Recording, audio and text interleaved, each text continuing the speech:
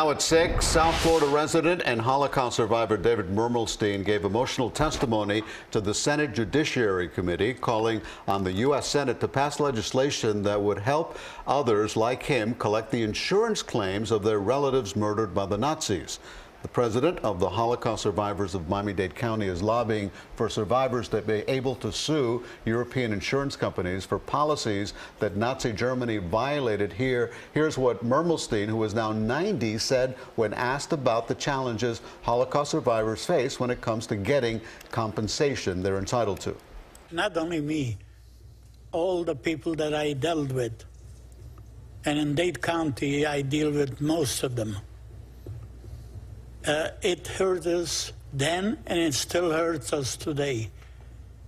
That my friend was uh, a soldier in Korea, yet he came home and he couldn't go to an American court.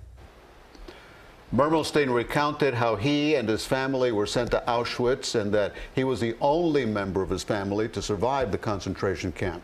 We have featured Mermelstein many times here on CBS 4 and traveled with him in 2012 and other Holocaust survivors to Poland, where they re reunited, returned to Auschwitz for the first time since the liberation in 1945. And you can watch our CBS 4 special, March of the Living, Return to Auschwitz, in its entirety on our website, cbsmiami.com.